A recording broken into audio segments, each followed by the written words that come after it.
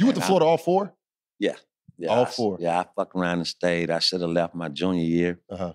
Listened to my mom, you know, want me to go get a degree and shit. And so I stayed for my last year. But damn, as soon as I made that decision, my damn college coach, God bless him, he went crazy on my dumb ass. I should have left. That motherfucker like a he went he was like the devil. Really? The motherfucker like treated me like a king the first three years, and then as soon as I said that I was gonna stay my my uh, junior year, and and you can you can't say that okay now I'm gonna go.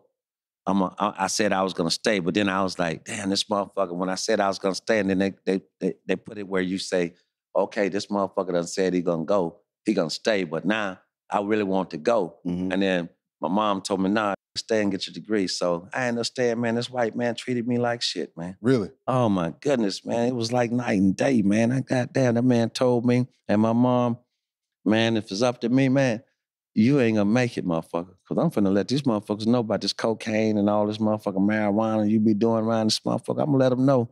I was at the combine up in Orlando, and um, about four weeks was was up in combine. They was working us out, and they had the top players and and you know first round picks and shit. So I was supposed to go top 10 Mhm. Shit, I went motherfucking forty eight out of fifty.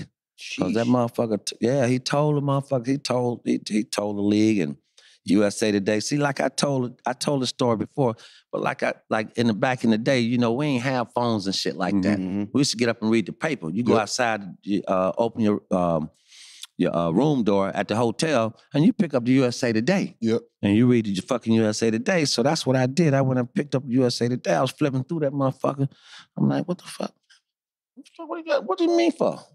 I'm looking at me. Motherfucker talking about Vernon Maxwell get caught with uh, marijuana, cocaine, and this shit like three weeks, month before the draft. And I'm like, shit, I can't repair this. Nah, Yeah. facts, yeah. Ain't no way I can repair this shit. You know, I can't can't get to everybody and talk to everybody. All the teams I had to talk to about drafting me, I can't. I can't straighten this shit out because yeah, it's my yeah. word against this motherfucker. Right. So, and it's true. Mhm. I did everything the motherfucker said. But that I wasn't his place to go out there and they said I was gonna do, but I just thought it was just bad shit, man. When the man just did me like that, and I, I poured my heart out to that school, all time leading scorer at the school still today. You know, I mean, twenty eight sixty. You know, I scored two thousand eight hundred sixty points. You know, almost three thousand points, in this motherfucker. That's what they did for me. But it's okay, man. I end up still making it. Oh so, yeah, you, eh, yeah. you did all right. yeah, no You- doubt. you- yeah, you did a yeah, no bit. doubt. Yeah, no, did a little facts. something.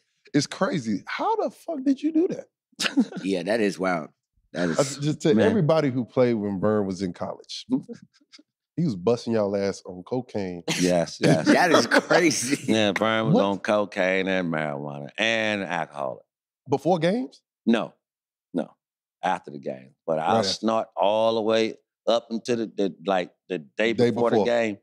I'm gonna get my head right. I'm gonna have my nose on that table. I'm gonna be blowing it up. The NBA season is back and in full swing, and I couldn't be more excited. And you know what's made it better? DraftKings, the official partner of Rain Race. DraftKings is blessing y'all. New customers who bet as little as $5 get $200 in bonus bets instantly. All you got to do is go use our promo code RACE. So go download the app, and it's not just for the NBA season. The NFL is still here, and DraftKings is an official partner of the NFL. Whether you're betting on touchdowns or buckets, or if sports betting isn't available in your state, DraftKings still got you with daily fantasy. So make sure you go over to DraftKings right now, download the app, use our promo code RACE, DraftKings. The crown is yours.